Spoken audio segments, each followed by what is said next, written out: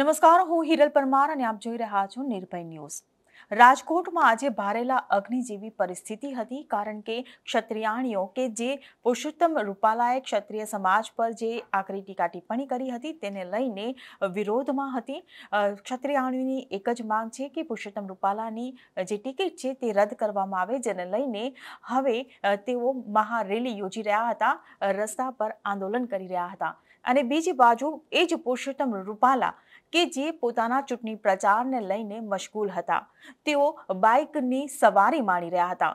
ત્યારે હું તમને દ્રશ્યો બતાવવા માંગીશ કે પુરુષોત્તમ રૂપાલા કઈ રીતે બાઇક રેલીની મજા માણી રહ્યા હતા અને બીજી બાજુ ક્ષત્રિયાણીઓ મેદાનમાં મહારેલી યોજી રહ્યા હતા અને ન્યાયની ભીખ માગી રહ્યા હતા.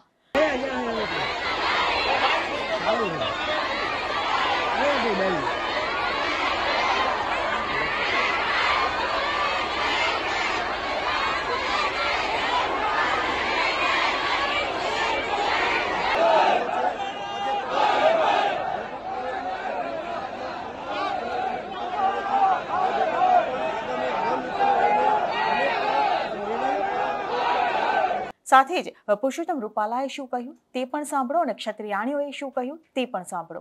આપ સૌને સ્થાપના દિવસની ખૂબ સારી શુભકામનાઓ આપું છું. મિત્રો, મને જરૂર કહેવાનું મન થાય કે ભારતીય જનતા પાર્ટીની સ્થાપનાથી લઈને આપણા રાજ્યમાં, ભારતીય જનતા પાર્ટીના વિકાસમાં, રાજકોટ ભારતીય જનતા પાર્ટીનું એક અધકેરું મહત્વ છે. હું ઘણી વખત અન્ય કાર્યક્રમોમાં પણ હું બોલ્યો હોઉં છું રાજકોટ એ ભારતીય જનતા પાર્ટી માટેનું પાવર હાઉસ છે.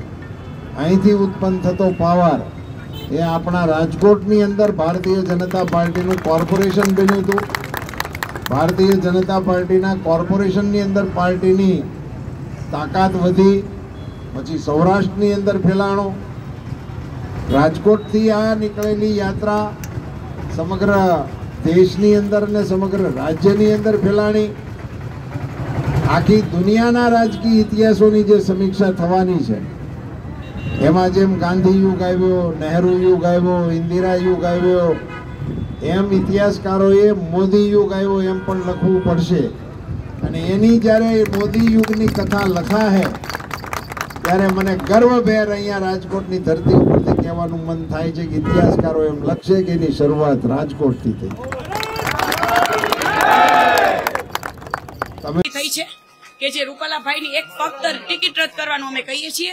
આજે અમારા બેને અમદાવાદમાં સુસાઇડ કરવાની પણ કોશિશ કરી છે. તો ક્યાંક ને ક્યાંક અમારી સાથે અન્યાય થઈ રહ્યો છે. અમે બસ એટલું જ કહીએ છીએ કે રૂપાલાભાઈ શું આટલા બધા મહત્વના છે? એક બેનું દીકરીઓના સ્વમાન સ્વાભિમાન સાથે જેને ઠેસ પહોંચાડી છે, એના એનાથી પણ ટિકિટ રૂપાલાભાઈની એક મહત્વની છે. જ્યાં જે બેને પોતે સુસાઇડ કરવાની કોશિશ કરી છે અને હજી પણ અમને ન્યાય નહીં મળે, તો અમે આખી ક્ષત્રિય સમાજની ક્ષત્રાણીઓ. અમે બધા જોહર ઉપર ઉતરશું અને કમલમ ઘેરશું અને કમલમમાં પણ જગ્યા નહીં વધે. એટલી ક્ષત્રાણીઓ અમે જોહર ઉપર ઉતરશું. આજે અમારે પચાસથી બેનો અનશન ઉપર ઉતરી છે. આજે મારે પણ ચોથો દિવસ છે અનશનનો દોઢથી બે લાખ સંખ્યા અમારી અહીંયા ભેગી થઈ છે. તો અમને ન્યાય આપો. નમ્ર વિનંતી હવે કરીએ છીએ સરકારના કાયદાકીય અમે હાલીએ છીએ. હવે અમને પરાણે એવું ન કે અમે કાયદાનું કાલ સવારે અમારે ઉલ્લંઘન કરવું પડે. અને અમારા મહિપાલસિંહ ભાઈ એની અટકાયત શા માટે? રૂપાલાભાઈ ની અટકાયત શા માટે નહીં? મંત્રી છે એના માટે? સત્તા લઈને બેઠા છે એના માટે? કેમ? હું આ સરકારશ્રીને પ્રશ્ન પૂછવા માંગુ છું.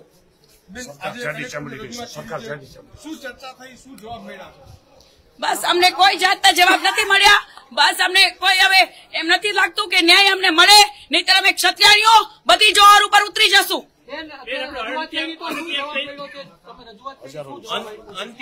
એવું કીધું છે કે જોશું અમે.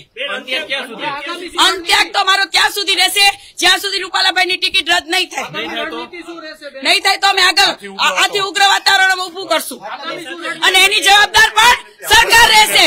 એની જવાબદારી પણ સરકારની રહેશે. જી. જી મને એવું જ લાગે છે કે કઈ વાત આ ઉપર સુધી નરેન્દ્રભાઈ મોદી સુધી પહોંચી જ નથી. મને એવું જ કંઈક લાગે છે નકર જો નરેન્દ્ર મોદી સાહેબ સુધી વાત પહોંચી હોત તો આટલા બધા દિવસ નો થાય. મને વિશ્વાસ છે. રાજકોટના બીજા બહેનો તમારી સાથે અંત્ય કોઈ કરવાના છે? જી હા પચાસ બહેનો જોડાના છે અંત્યક સાથે. આ અહેવાલ માટે તમારું શું કહેવું છે તેમને કમેન્ટ બોક્સમાં લખીને ચોક્કસથી જણાવશો. જો વીડિયો પસંદ આવ્યો હોય તો વિડીયોને લાઇક શેર અને અમારી ચેનલ નિર્ભય ન્યૂઝને સબસ્ક્રાઇબ કરવાનું ભૂલશો નહીં. આભાર.